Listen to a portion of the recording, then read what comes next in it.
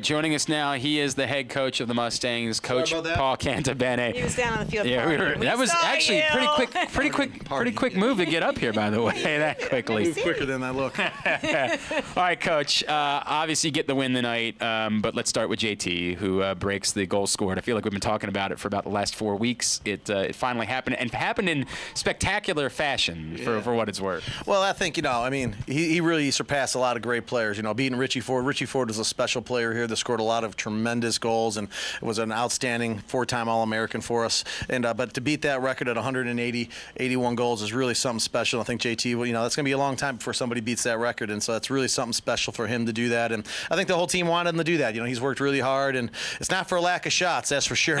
uh, but um, but uh, he's done a great job, and we're, we're really happy for him. Anytime somebody breaks a major record in any kind of sport like that at their school, that's really uh, something really really special.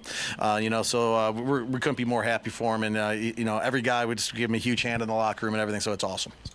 It's cool.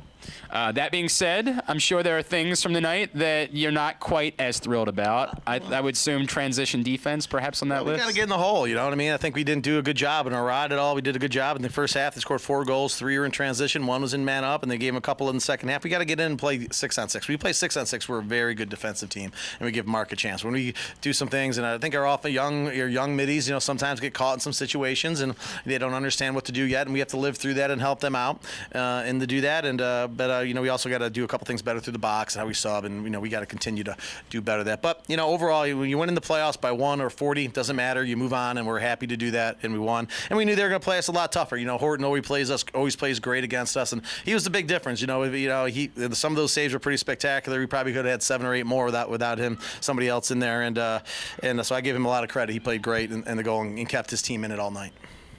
Besides getting into the hole in, the, in your transition game, is there any area that you really need to improve in before championship game Saturday? Well, we got to face off a little bit better. I think Shiloh Shiloh did a good job, but he's got to pick the ball up. He's good at getting out, but we're not doing so well in the, the ground ball area.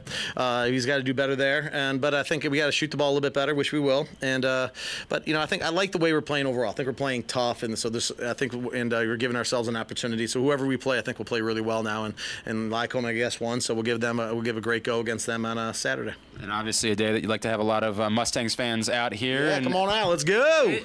And a special day too. Neat. I know that like for the women to be playing on Saturday as well here at home. A really neat day for everybody here at Well, Stevens. anytime you're hosting two championship games in your campus, it's a special day. You know what I mean? Coach Railey will go at one, I believe, and we'll go at seven and, and get after it. And uh, you know, hopefully, we can bring two championships home. Uh, but championship games are you know tough. You got to go out there and play and execute, and anything can happen. And uh, you know, it was good that we got ahead of Widener today, and made them on the uh, always chasing us, and never were able to get the lead. And I think that's big against teams like that. We got to do the same thing against Lycoming. Thought last time we I don't think we really played well against them. I think uh, uh, so. I think we can really um, hopefully play pretty well and, and do what we can. We got to face another really good goaltender.